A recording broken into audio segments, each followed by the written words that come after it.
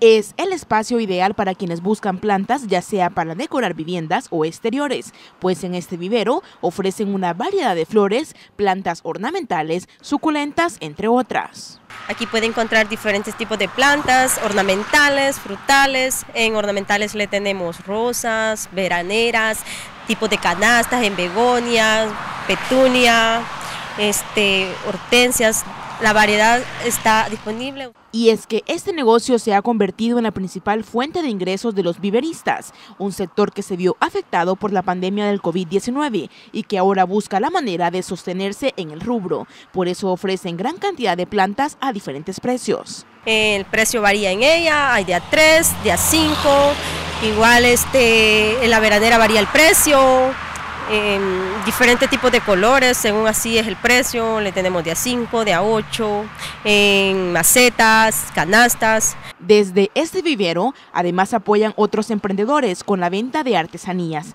productos que a la fecha se han vuelto atractivos para quienes los visitan. Pues le tenemos artesanías, moldes para poner este, canastas, eh, figuras de hormigas, igual para poner canastas decoraciones que ella pues se va a traer de otras. Apoyando a otros productores. Sí.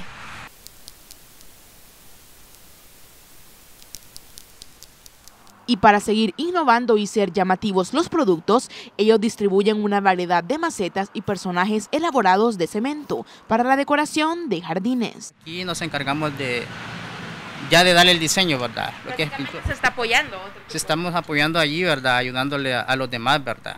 Como una cadenita, ¿verdad? Si ella ayuda a los demás y, viene ella acá, pues y nos ayuda a nosotros también en lo que es el, empleo, ¿verdad? Porque nosotros de esto aquí nos, nos mantenemos, ¿verdad? Para, para poder llevar el sustento a nuestro hogar, ¿verdad? Este grupo de viveristas esperan que el negocio mejore en los próximos meses para así seguir apoyando a otros con la venta y distribución de sus productos.